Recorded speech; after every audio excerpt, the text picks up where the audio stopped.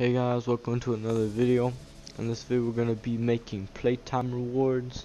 This is good for like keeping players intrigued into your game and make them want to play it more or for a longer period of time because they're gonna maybe get like a multiplier boost or you can give them like a big paycheck in game for however long they play.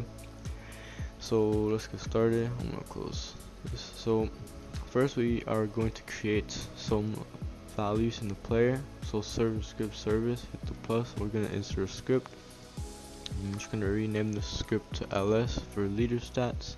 I'm going to remove the basic part of the script. I'm going to do game not players, oh, game not players, player added connect function player.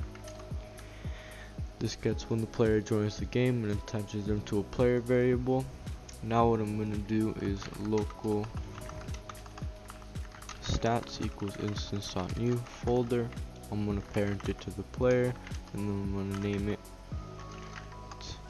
leader stats these so we're creating a new instance which is a folder which is the same thing as hitting a plus on anywhere and inserting a folder except we're doing it in a script format this is the parent which is where the object will go that you just created. In this case it's our folder and we're going to put it inside of the player.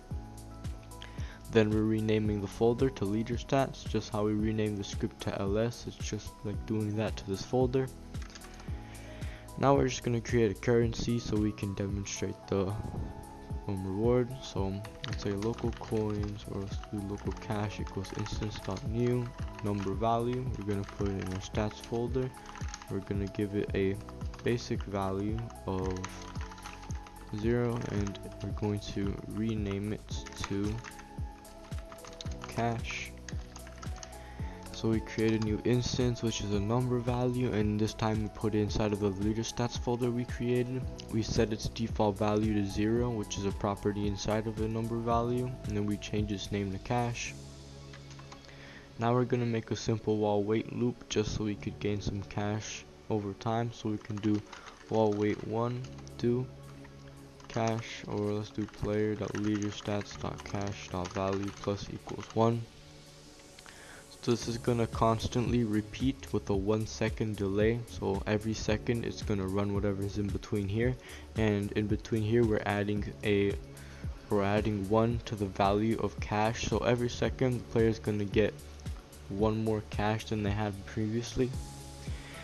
But let's add a multiplier to this. So let's do local pt rewards. Pt stands for playtime and then rewards equals instance.new number value. This time we're going to put it in the player.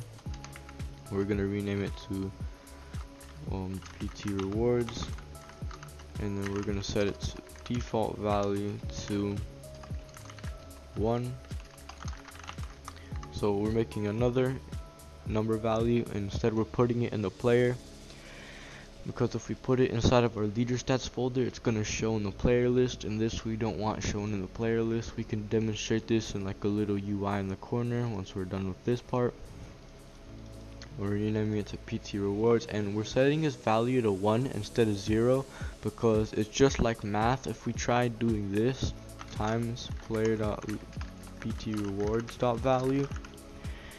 if the player's PT reward value is 0, it's going to be 1 times 0, which is 0, meaning the player won't be able to gain anything until this increases some way or another. So we're going to keep it at 1 by default so the player can gain by default.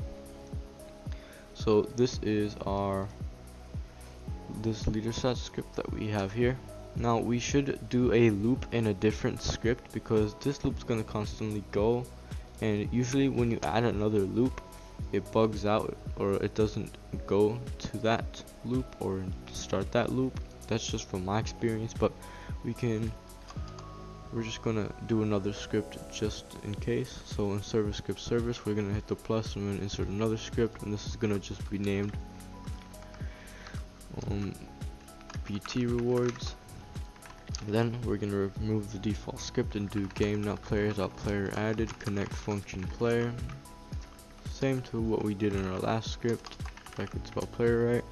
And then we're just going to do while or actually I'm gonna do tasks.wait one because we want to make sure everything's added to the player because we don't want the loop to start before any of this is added since this is both starting at the same time when the player joins the game so we want to make sure this gets created before we start doing anything so let's add a little delay.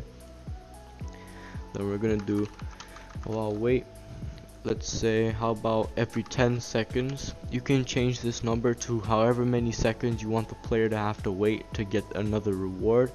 And then we're going to do player.ptrewards.value plus equals let's say 0.5 so every 10 seconds we're going to get 0.5 higher multiplier. So that should be our rewards completed. You can change this up and if you don't want a multiplier and you want to increase the player's cash amount you can do like player.leaderstats.cash.value plus equals whatever times whatever or whatever equation that you want to do to give the player. So we're just going to make a quick little UI to actually show the player that they have a different playtime reward.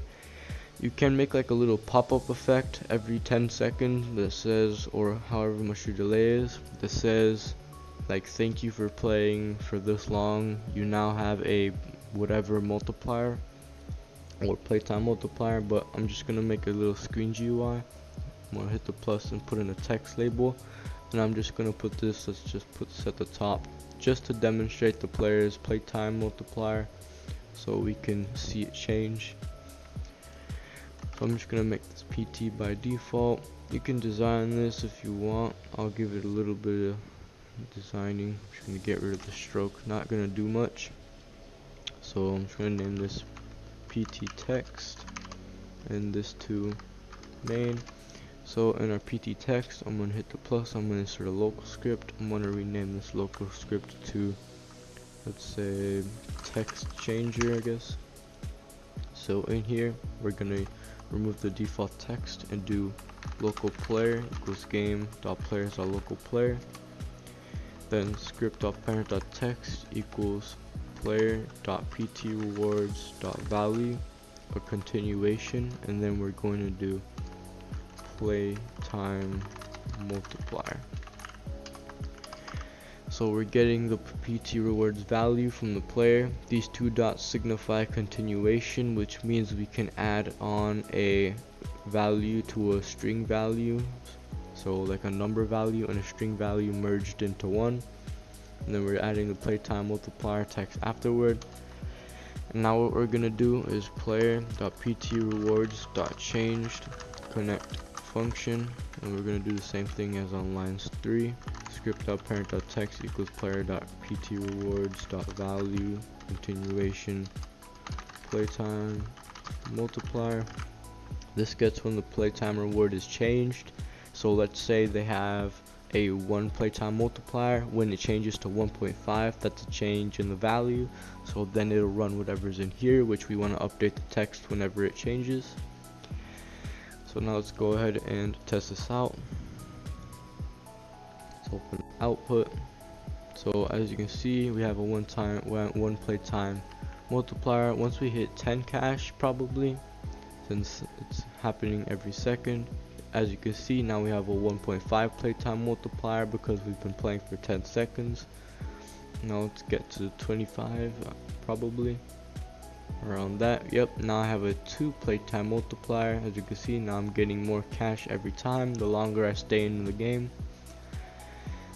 so this can like encourage people to stay in the game longer because they want that good boost and such. So yeah, hopefully this video helped you and hopefully you enjoyed. See ya.